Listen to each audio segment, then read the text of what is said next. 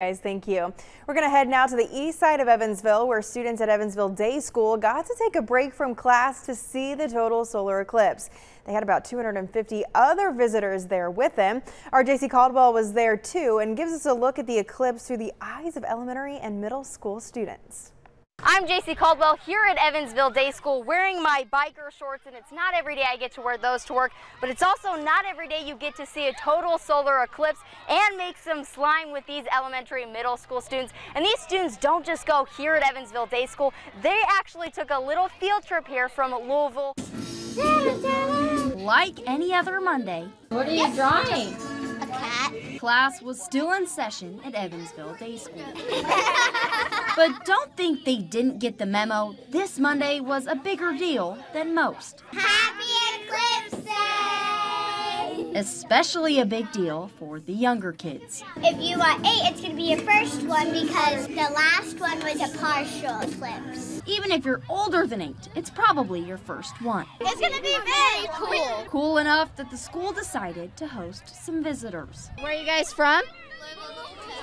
Students from Louisville Collegiate School. It's our first day back from spring break, so it's glad I don't have class today. Like good hosts, Evansville Day School made sure the two hour drive was worth being out of class for. Purple or blue moon has to go into the sun. Your team scores a point. So many different activities.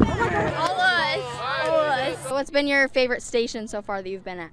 Um, I'd say the slime one. Mine's not colorful like your guys'. Me neither. I didn't do color. Okay, I messed up on mine. Then it started to get dark. We're having a solar eclipse. What? We are? Yeah. All you can see is the sun and like the moon moving in on it. What does the sun look like right now? Looks like the Cheshire Cat smile. No, it's almost covering it. It's close. Look at it, it's pretty cool, guys. My life today, my life was changed forever. I drove two hours to see this, and it was worth it. I want to go to bed. I feel like we're in the back. What time does it feel like outside right now? 2 a.m. It's getting brighter.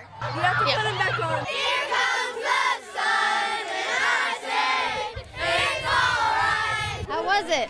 It was so cool. I loved the color of it.